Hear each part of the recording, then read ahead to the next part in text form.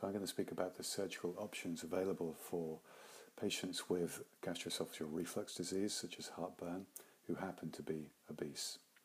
Um, traditional anti-reflux surgery we think may be of higher risk, risk, and therefore bariatric surgery, which will help both the obesity and the reflux, may be considered. So I'm going to talk about the types of surgery that might be available.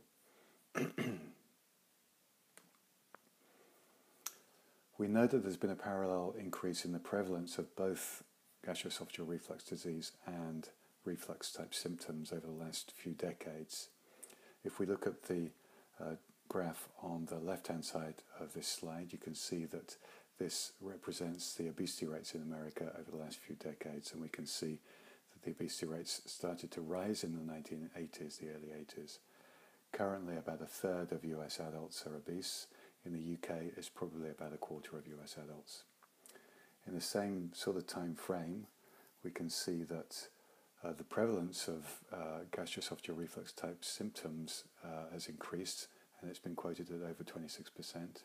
But also, we can see that the uh, complications of reflux, such as Barrett's esophagus or esophageal adenocarcinoma, have also increased. So there seems to have been an increase in both of these conditions. Now the next question is, is this a coincidental increase or is it causa- uh, causation? Does obesity cause reflux? I think this is an interesting, quite large um, epidemiological study which looked at 12,000 US nurses and gauged the severity of their reflux symptoms and uh, analysed this against their body mass index. And it did find that there was a significant increase in the risk of developing reflux type symptoms in people who were overweight and obese. So those with a BMI of over 35 had a 35% chance of having reflux type symptoms, but normal weight patients had a 10 to 20% chance. So BMI increases confers an increased risk of reflux. In addition to this, an added layer of risk um, is uh, is the distribution of the obesity. So, if a patient has a central or male type android distribution of their obesity, almost like an apple shaped distribution, they will be conferred an extra risk of developing reflux.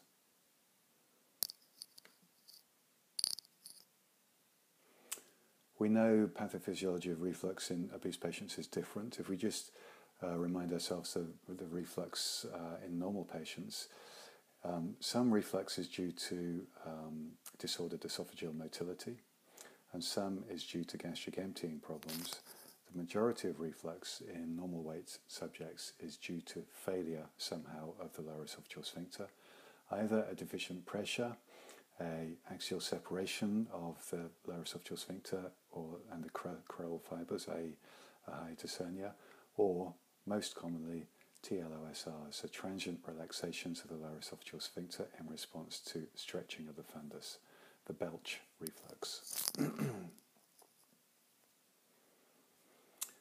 in obese patients, particularly those with central obesity, like uh, this um, extreme example of this man here, the uh, visceral fat plus organomegaly and the elasticity, elasticity of the supporting stretched ab- abdominal wall musculature leads to a significant increase in intra-abdominal pressure and a concomitant increase in intragastric pressure.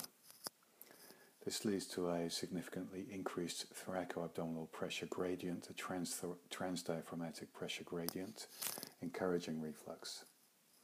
In response, people of higher BMI actually have a resting lower esophageal sphincter pressure, which is higher. However, this seems to be quite often separated from the crural fibers in that there is a 50% hiatal hernia rate. Of most note is that TLOSRs are more frequent in obese subjects than in normal control subjects. This may be due to overeating, air swallowing, uh, or a number of factors. But TLOSRs seem to be an important, uh, have an important role in reflux in obese patients.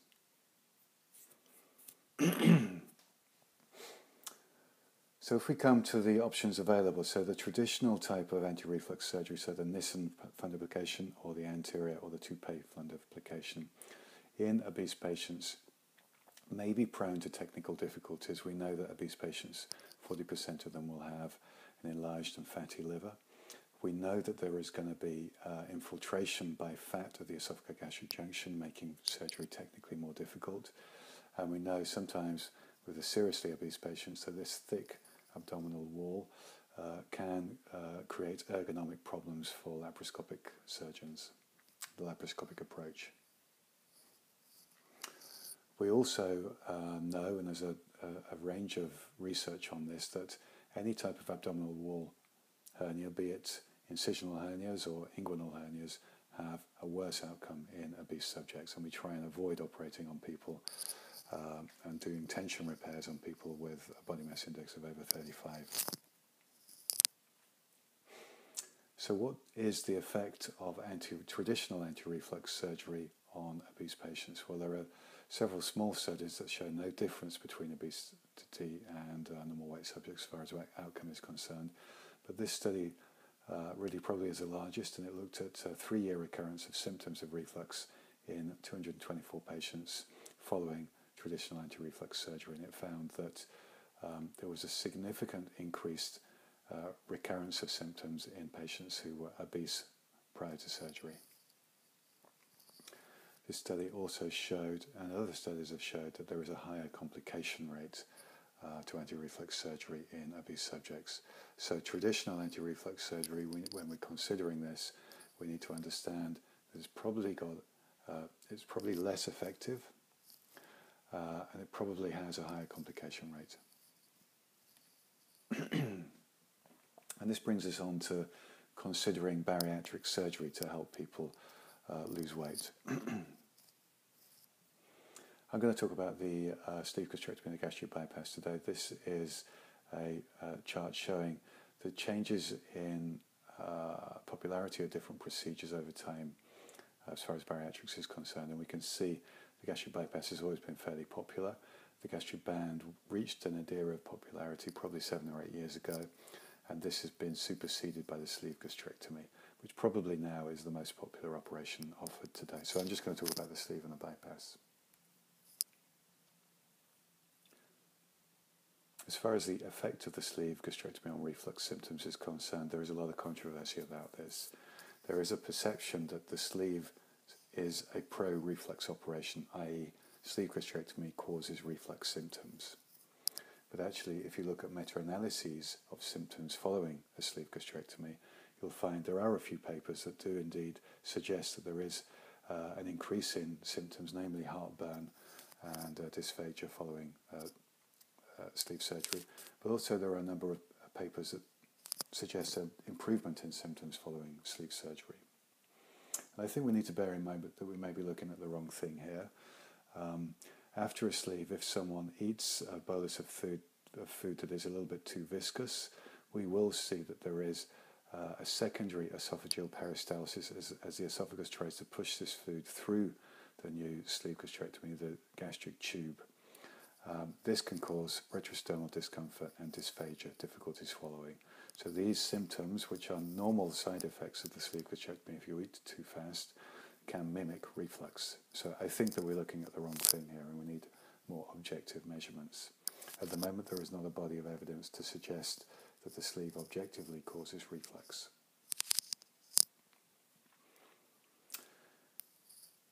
my current take on sleeve gastrectomy, having uh, operated on many patients uh, at UCLH with mild or moderate reflux, um, would be that actually the outcomes are, are quite favourable following re- anti-reflux surgery. And if we go back and look at the actual cause of reflux in um, particularly obese subjects, the predominant cause is TLOSR, so transient relaxation of the lower esophageal sphincter in response to fundal stretching.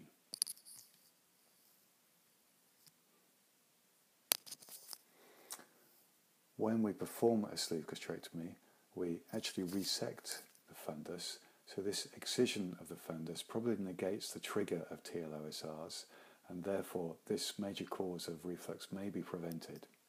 And this may be, may be the reason that with patients, certainly that I and my colleague, colleagues operate on, reflux in the majority, probably 98% of patients, is not an issue following this procedure.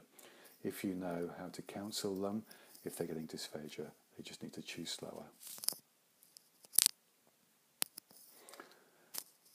I think one of the reasons for the differences in results um, and outcome in sleeve is maybe technical differences di- differences between surgeons. Some surgeons will leave a bit of a dog ear at the angle of His right at the top in order to try and prevent this uh, terrible complication occasionally of uh, sleeve leak up in the angle of His.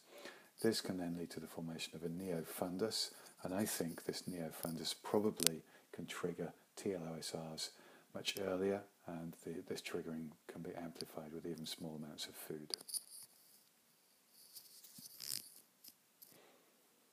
So this brings us on to the gastric bypass, and I would suggest that this is the um, gold standard procedure for um, obese patients with uh, reflux disease.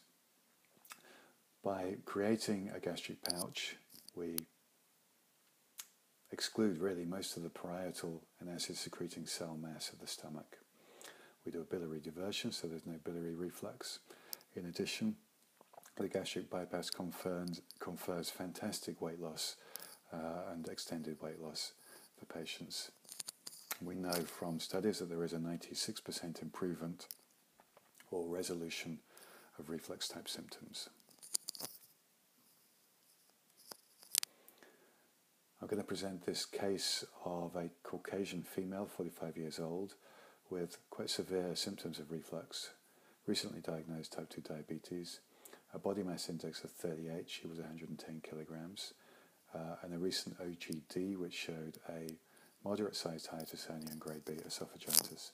And we performed a contrast swallow before surgery just in order to, to, to help us not have any surprises at the time of surgery, and it did, did indeed confirm the presence of this moderate sized hiatus hernia above the diaphragm.